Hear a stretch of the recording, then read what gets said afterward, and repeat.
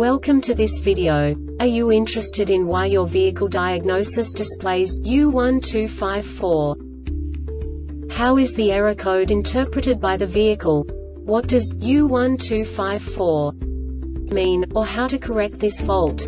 Today we will find answers to these questions together. Let's do this. First, let's look at the history of diagnostic fault code composition according to the OBD2 protocol, which is unified for all automakers since 2000. We divide the electric system of automobile into the four basic units. Powertrain, body, chassis, network. This distribution is defined in the first character code. If the second character is expressed as zero, it is a standardized error. In the case of numbers 1, 2, 3 it is a more prestigious expression of the car-specific error. The third character specifies a subset of errors. The distribution shown is valid only for the standardized DTC code. Only the last two characters define the specific fault of the group.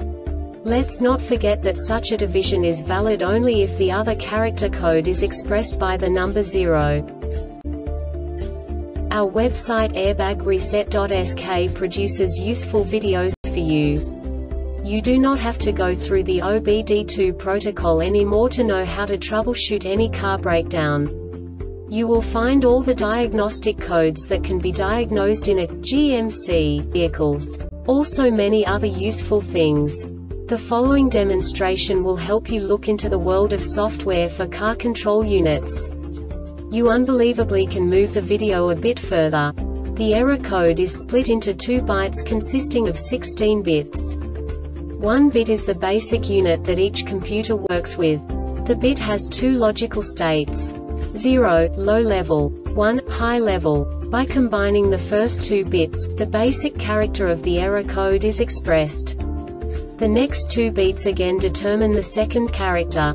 The last beat styles of the first byte define the third character of the code. The second byte is composed of a combination of 8 bits.